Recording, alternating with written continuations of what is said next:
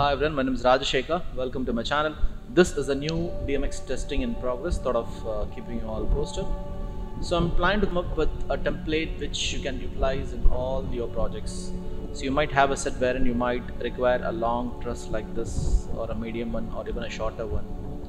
And some might require a semicircle type or a fully circle one with sharpies on it. So keeping that in mind, I prepared this. These are already patched in ChamSys. I'll quickly show you. So they all they're all ready to trigger and test.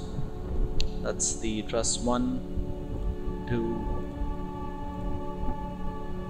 three, and the semicircle and the circle.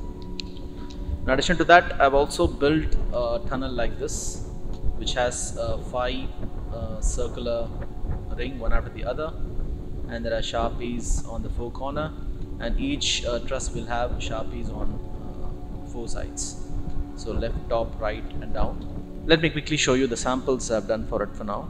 So you can come up with effects like this, and here's one more,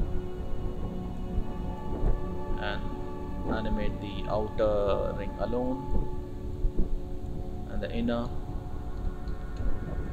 and everything is grouped. This truss along with sharpies and this ring and this structure. So we'll have no problem in duplicating them. You can also duplicate this and keep it like a tower. Let me do a small test programming on this one and I'll keep you all posted. Meanwhile if you're interested for this template you can let me know. I'll give you a simple version of this which will be easy for you to uh, incorporate in your projects right away. See you all soon on another video. I'm Raj Shekhar. bye. Take care